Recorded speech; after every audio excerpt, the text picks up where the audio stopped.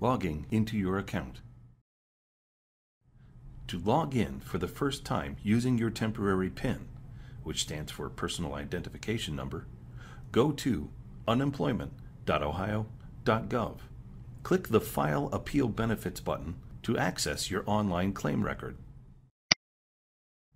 Read the Release of Information and then click the I Agree button to continue.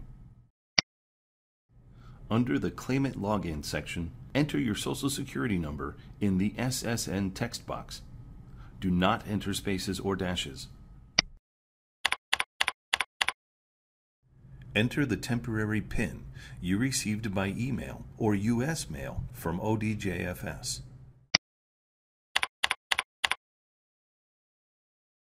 Notice the Chat button in the outlined box on the right. If chat is busy, you may use the Help or FAQs buttons in the black bar near the top of the page to find the information you need. Or you may call the number listed on your correspondence for assistance. After filling in your Social Security number and temporary PIN, click Login. When using your temporary PIN for the first time, a message will appear telling you that your PIN has expired and you will be asked to create a new one. The new PIN must be eight numeric digits.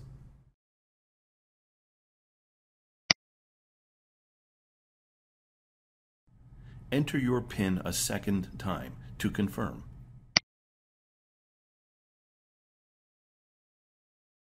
Write down your PIN number and do not share it with anyone. Next, select a PIN hint question and enter your answer. In case you lose or forget your PIN, this answer will help you recover it. Click Submit. Now that you have reset your PIN, you will be able to access your account at unemployment.ohio.gov. If you have questions, more information can be found on unemployment.ohio.gov under Unemployed Workers and Additional Information. You can also call 1 877 644 6562 or for the hearing impaired, the TTY line is 1 614 387 8408.